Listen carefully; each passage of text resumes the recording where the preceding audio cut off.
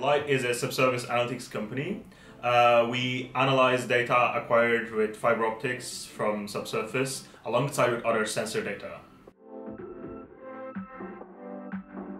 Fiber optic data is acquired at very high rates and this creates a big data challenge for our customers. What we can offer is make this data available for our clients within five seconds from the acquisition.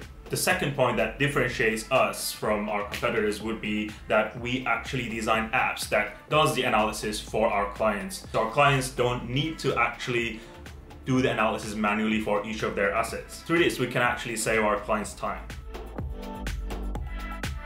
One of my clients in the North Sea had a water injector that is drilled into multiple zones and they wanted to find out the amount of water that was injected into each zone, whether it's distributed uh, evenly or not.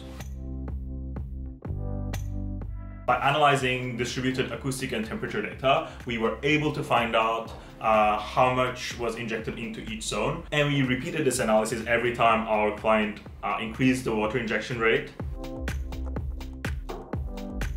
Based on our analysis, our client was able to increase their water injection rate safely and boost productivity of their field significantly.